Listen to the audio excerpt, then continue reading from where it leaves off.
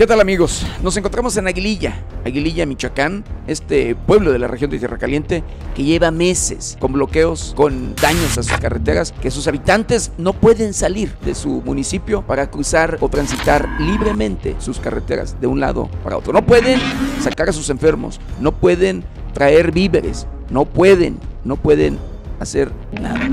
Y viviendo en el miedo, viviendo con terror, luego de las prácticas delictivas y de los enfrentamientos constantes que llevan a cabo grupos criminales, peleando el control por este municipio, el control de estos lugares de la región de Tierra Caliente. Aguililla, un pueblo rehén, un pueblo secuestrado, un pueblo que pareciera que no tiene derechos, un pueblo que pareciera que está olvidado, como ellos mismos lo dicen, olvidado por las autoridades, por el gobierno, como si no existiera. Lamentablemente, así, un pueblo sin ley, un pueblo donde no hay gobierno, un pueblo ingobernable en los sentidos, que incluso ni siquiera cuenta con elementos policíacos. Un pueblo que de verdad no tiene y ni se ve que haya autoridad en lo absoluto. Quien tiene el control son los grupos criminales. Quien tiene el control son los delincuentes. Son ellos los que mandan. Son ellos los que dicen que se hace. Los que a la hora que quieren bloquean. A la hora que quieren simplemente incluso bloquean la señal de telefonía celular. Bloquean el servicio de comunicación en todos los sentidos aquí en Aguililla, Michoacán. Es triste y lamentable, pero así, así las cosas. Un pueblo en el que, como le digo, lleva más de siete meses, más de siete meses sin poder disfrutar, sin poder hacer uso de este derecho al libre tránsito, el derecho a ser atendidos médicamente en otros lugares luego de tener algunos enfermos, cuando no hay médicos ni hospitales en este lugar que atiendan sus necesidades en todos los sentidos. Más de siete meses donde los grupos criminales, como le digo, tienen el control, los tienen como rehén a sus habitantes, los tienen secuestrados. Siembran el miedo y terror para poder ellos tener el absoluto control en todos los aspectos, para que los habitantes no hagan nada, porque sí, no pueden hacer, no pueden hablar, no pueden denunciar lo que están viviendo, lo que están pasando, lo que están viendo día a día en este pueblo, en donde constantemente se ven las huellas de las batallas, de las guerras campales, de las batallas campales que se ven, se registran constantemente en este municipio. Hemos y hemos documentado, como usted estará viendo en sus pantallas, casas, vehículos, tanto baleados, destruidos por las armas, por las balas en sí, como quemados, hoteles, viviendas en todos los sentidos, lugares donde los grupos criminales luego se esconden, donde luego los grupos criminales pues allí se albergan para seguir operando y seguir ellos sus actividades delictivas.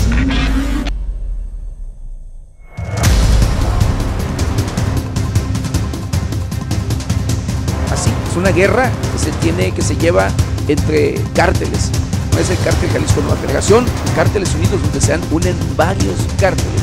Es uno de los, de los que han operado por parte de cárteles unidos o Viagras ha sido José Revueltas, mejor conocido como el Chico. Andaba o vivía aquí en Aguililla que ya fue expulsado, se salió o alcanzó a, darse a, la fuga. Corrió.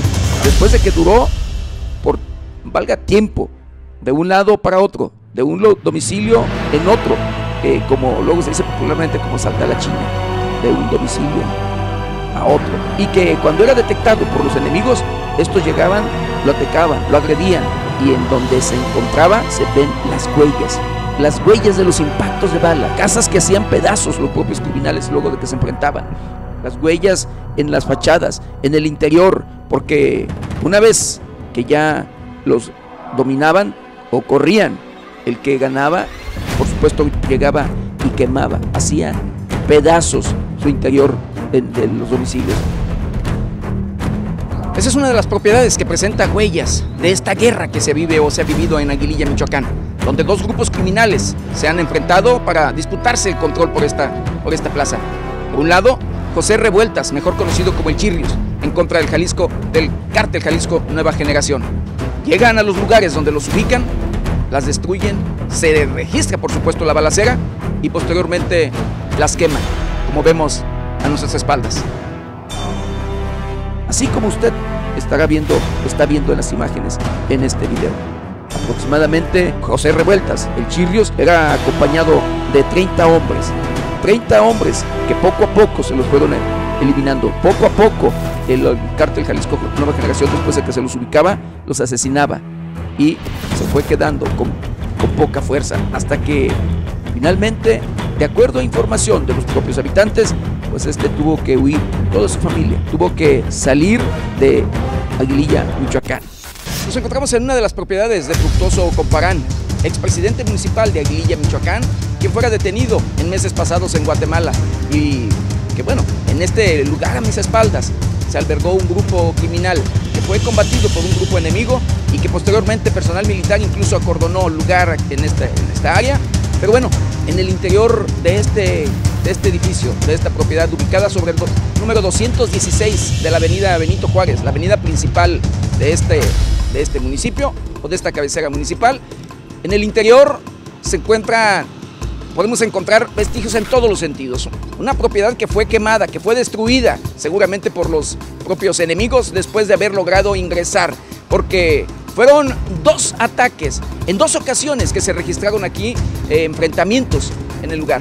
Al interior pudimos localizar, se pueden ver cartuchos percutidos de diferentes calibres, de diferentes calibres, desde el, desde el 2.23 de pistola 9 milímetros, incluso calibre 50 del, del Barrett. Son varios los cartuchos percutidos, pero asimismo, todas las habitaciones dañadas, todas las, lo que fue las camas, los colchones, también incinerados, un vehículo también en el lugar y varias, muchas otras cosas que pudimos localizar.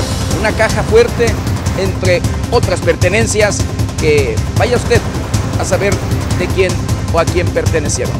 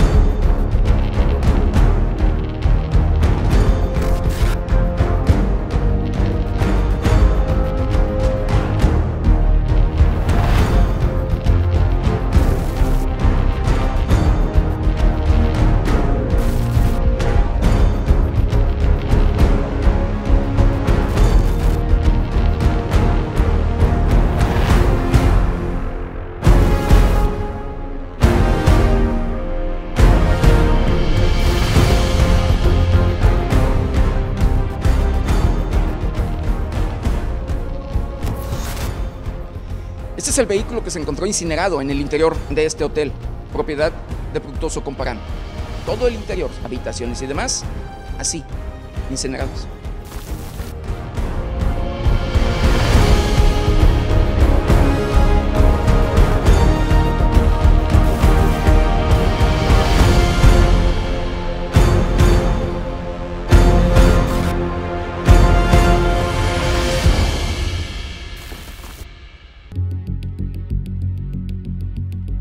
Luego del miedo sembrado por los propios criminales, del terror en el que se vive aquí viven los habitantes, los habitantes de Aguililla exigen que sean, sí, liberadas las vialidades, exigen este derecho, que es este derecho constitucional al libre tránsito y por supuesto a la seguridad y justicia, porque dicen, luego de que no son escuchados, de que no los voltean a ver las propias autoridades, luego de que viven estos momentos difíciles, esta situación crítica en todos los aspectos, el tema de inseguridad, dicen que están dispuestos en un determinado momento a tomar las armas. Si no les hacen caso, si lo siguen olvidando, si siguen haciéndose de vista ciega y de oídos sordos las propias autoridades tanto del gobierno del estado de Michoacán como del propio gobierno federal, así como usted lo escucha. El hartazgo y cansancio ha llegado a sus habitantes. El hartazgo y cansancio ha rebasado valga sus límites y los ha llevado incluso a tomar medidas radicales como es el agredir al propio ejército que se encuentra instalado en este lugar, aquí en Aguililla, Michoacán. Su cuartel fue agredido y por supuesto, pues esto luego de que dicen los habitantes no hacen nada los militares en la zona para tratar de pacificar, para tratar de poner orden en todos los sentidos. No salen de sus cuarteles. El hartazgo nos ha llevado a tomar estas decisiones donde se han escuchado y se han visto, se han registrado incluso enfrentamientos tanto a pedradas y de balas en todos los aspectos que han, han resultado heridos tanto de los, habitantes, los pobladores, como de los propios militares. Hemos visto las imágenes de cómo el ejército ha tenido que apoyar a los propios elementos castrenses para trasladarlos a ser atendidos médicamente después de haber sido lesionados. Pero también los habitantes, también los habitantes los han alcanzado las balas del propio ejército, después de que ellos defienden su cuartel y su integridad.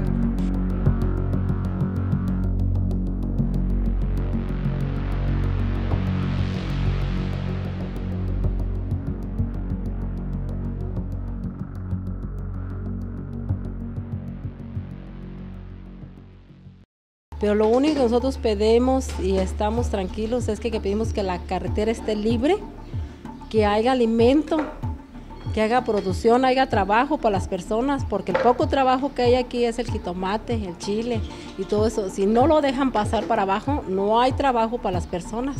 Y de ellos nosotros vivimos, más que nada. ¿Por qué? Porque ellos, este, teniendo ellos trabajo, la gente viene a comer, viene a gastar. Y si no lo hay, pues nos quedamos igual. Ahorita tenemos el problema de que las personas que tienen sus tiendas, sus abarrotes, todo eso, este, nos traen la mercancía por muchos sacrificios, a cuestión de que por donde tienen que dar la vuelta la carretera no está bien. a veces se voltean, a veces pues tienen el, el camino está deshecho, lodoso y pues todo está caro pues qué se puede hacer. Lo único que pedimos ayuda es de que el gobierno nos apoye, que deje la carretera libre, otra de las cosas, que este, venga Andrés Manuel y que vea la, la posibilidad de que pueda venir a ver cómo estamos, que no diga lo que dijo la otra vez, que estábamos en paz, porque no lo estamos, es lo que le pedimos, que venga él aquí al pueblo. ¿Y qué se va a hacer? Los soldados, pues, aunque esté el cuartel, ¿qué se va a hacer con el cuartel? No tenemos apoyo de ellos. Vas y le pides apoyo y ya vieron lo que ha pasado ya hasta agredieron a ellos y ellos están agredieron al pueblo. O sea, no hay ninguna solución. Así que necesitamos que nos apoyen. Y le pedimos más que nada al gobierno, ahorita, que es a causa de eso, de que estamos olvidados de ellos y que no nos han puesto, no nos han tomado en cuenta nada. Porque una cosa es que tengamos aquí gobierno y que nos apoye y otra cosa que nomás esté ahí encerrado, pues no tiene nada que ver. Al último, por eso la gente está pidiendo de que se vaya, porque no, apoyo de ellos no hay nada.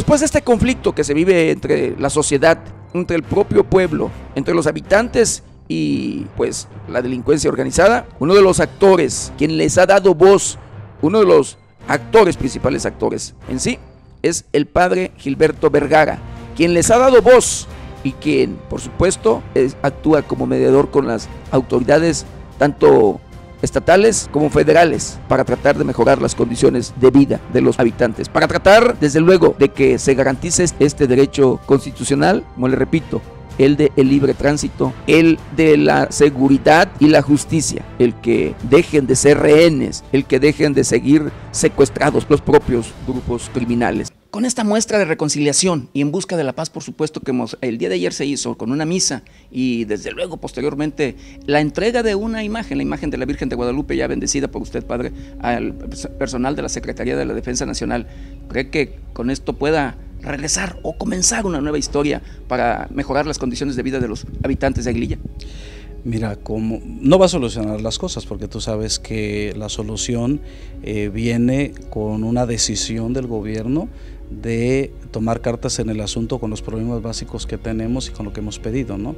Eh, a lo mejor que tú digas con la misma se solucionó todo, pues claro que no, ¿verdad? pero para nosotros sí es importante también reconocer que el conflicto no es el camino, reconocernos como población también de que no somos así, o no somos gente de conflicto, no somos gente de, de, pleito, no de esa manera y no queremos confrontarnos con el gobierno porque finalmente necesitamos su ayuda porque ya sabemos, comprendemos que sin la ayuda del gobierno de una manera se expresa, decidida, no vamos a poder salir del problema. Entonces, creo yo que aparte es como un mea culpa, como un reconocimiento de decir, bueno, sí nos excedimos, sí no debería haber pasado, y una muestra también de buena voluntad para decirles, bueno, pues también, o sea, reconocemos que nos unen más cosas de las que nos puedan separar, que ese encono, ese, ese problema que se dio, este, lo tenemos que resolver de otra manera, ¿no? Entonces, yo sí creo que tienen que marcar, por lo menos para nosotros, ese, ese nuevo inicio de una relación pues muy sana con ellos, ¿no? De diálogo y demás, pero también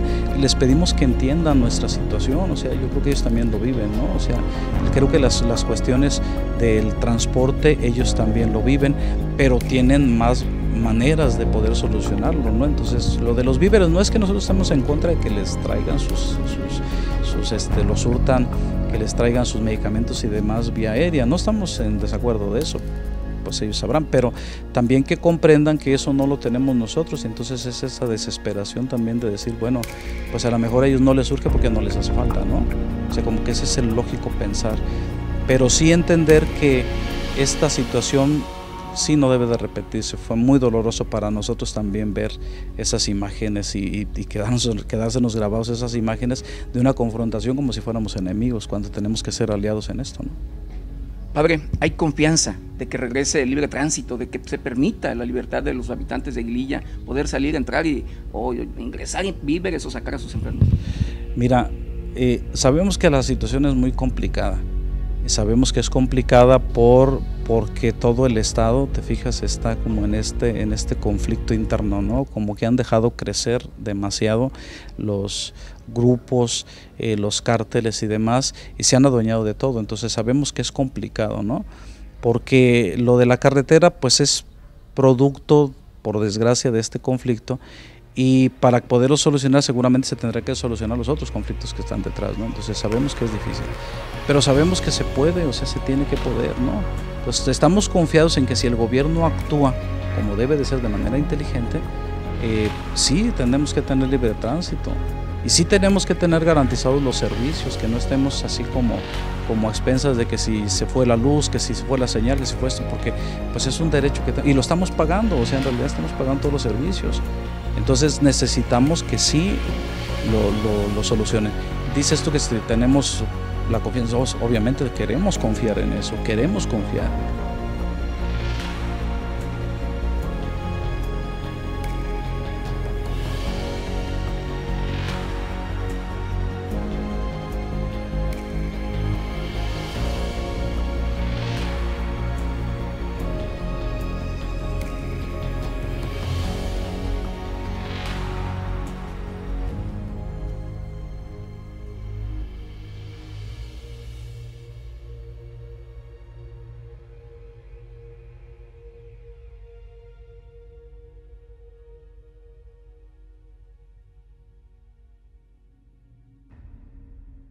Al llegar a Aguililla, Michoacán, y con todo esto que les estoy informando, querido auditorio, vemos las huellas de esta guerra campal. Ingresamos a los diferentes lugares, a las diferentes casas, a las diferentes propiedades donde se han registrado estos crueles enfrentamientos. Estos enfrentamientos entre los propios, eh, valga, cárteles de la delincuencia organizada. Hablamos de casas habitación, propiedades de diferentes criminales o de, habitantes incluso que han tenido que abandonar su propio pueblo, de habitantes que por el miedo y para tratar de resguardarse, para garantizar su seguridad, han tenido que abandonar su lugar de origen.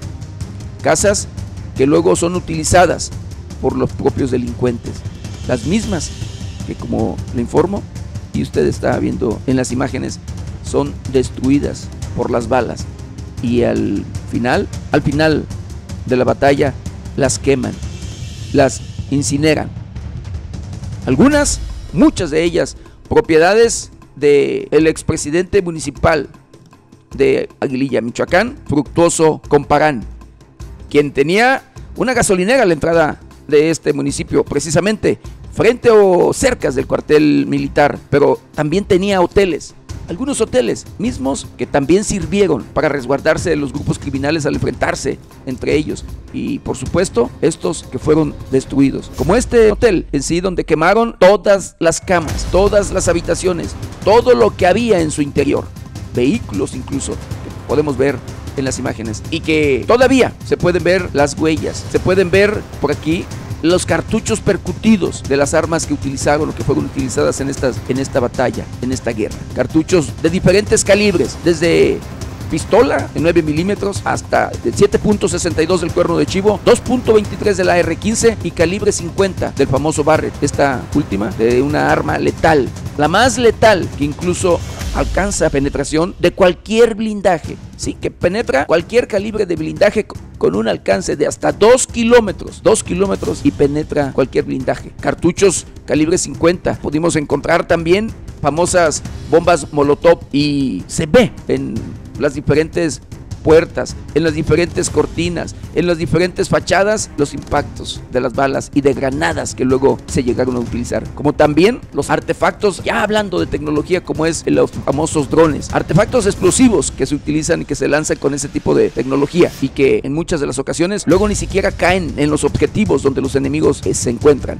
sino que caen en domicilios de personas, de personas inocentes, en domicilios de lugares donde nada tienen que ver en temas delictivos. Lamentablemente así, la realidad de esta guerra que se vive, de esta guerra que se tiene, de esta guerra donde los grupos criminales son los que tienen el control. Batallas y más batallas, huellas y más huellas de esta guerra que se vive en Aguililla, Michoacán. Propiedades dañadas y quemadas hasta en el propio centro, en, el centro, en la principal plaza o la plaza principal de este lugar. Un hotel perteneciente a Fructoso Comparán, quien usted recordará fue detenido en meses pasados en Guatemala. La guerra imparable y todo por el control de estos municipios, hablando de Aguililla en particular, es un municipio que estratégicamente hablando, geográficamente, es ideal para la instalación de narcolaboratorios y elaboración, por supuesto, de las drogas sintéticas, pero también un municipio que por su geografía también es precisamente estratégico para las pistas clandestinas, donde pueden aterrizar y sobrevolar, por supuesto, avionetas y otro tipo de aeronaves. Queremos que el presidente nacional deje de ser omiso. ¿Cómo es posible que a centroamericanos, a haitianos, se les brinden más apoyo que a su mismo pueblo, a su mismo estado, a su mismo municipio de México? Somos mexicanos también aquí en Aguililla. Creemos todavía en las instituciones hasta ahora. Queremos confiar en que las palabras del presidente se van a cumplir, que va a venir y que va a solucionar la situación. Estamos hartos, estamos cansados, sufrimos de un bloqueo de tránsito, de servicios, de derechos, en donde tenemos una manifestación aquí en la cabecera municipal desde hace ya casi tres meses y nos sentimos, nos sentimos olvidados, nos sentimos ignorados, pues a pesar de que la gente ha estado involucrada, participando, reclamando la situación, demostrando lo harto que está, hemos, nos sentimos ignorados.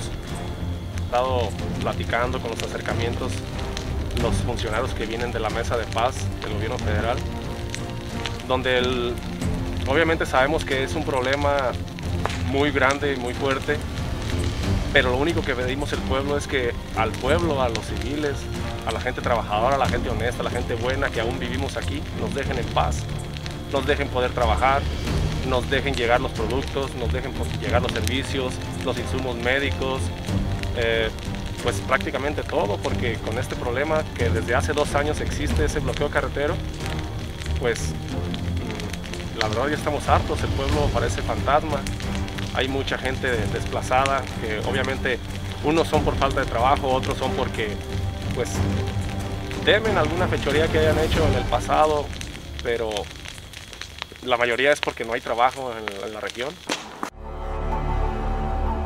¿Sabe cuál es el principal interés? El principal interés de los grupos criminales y de políticos, porque políticos se han enriquecido incluso de ello. Recordaremos que Alfredo Castillo, el comisionado para la seguridad en el estado de Michoacán, llegó, aseguró varias eh, minas en sí que estaban operando de manera ilegal. Aseguró el mineral, cautó miles y miles de toneladas de mineral, pero que nunca fue puesta a disposición de las autoridades correspondientes, sino que el mineral desapareció de manera repentina pero que yo recuerdo.